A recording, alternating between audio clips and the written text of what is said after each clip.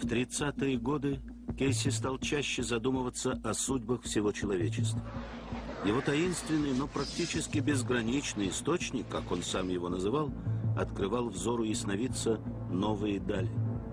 Сегодня серьезно изучают пророчество Кейси относительно земных катаклизмов, смена полюсов и геологических сдвигов. Некоторые из них сбываются уже сейчас.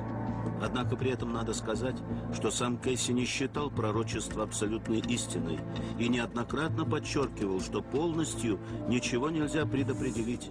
Предопределяется только возможность. Многое зависит от свободной воли, как отдельного человека, так и всего человечества. Если он проявит добрую волю и постарается жить в согласии с законами Бога, то сбудется самое лучшее из всех возможных вариантов его будущего.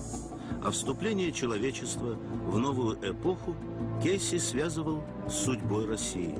Он вообще был неравнодушен к России. В самый разгар сталинской тирании он говорит «Надежда придет в мир из России, не от коммунистов, не от большевиков, а из освобожденной России. Пройдут годы, прежде чем это случится. Новое религиозное развитие России даст миру последнюю надежду». А вот что говорил Мессинг, уже много лет находясь в России.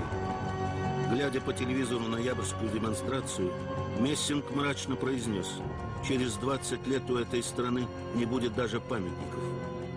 Оба прорицателя имели в виду одно – Россия снова станет свободной страной. Мессинг указал даже дату. Через 20 лет в стране началась мирная революция, а Кейси видел дальше. В начале 20 века о будущем России очень много говорили оптинские старцы. Их предсказания касались того, что в начале э, будет очень тяжелый период, это связано с э, революцией, ее последствиями, а потом Россия обязательно возродится, и ее ждет великое будущее. И это будущее во многом связано с духовностью России, с духовностью русского народа.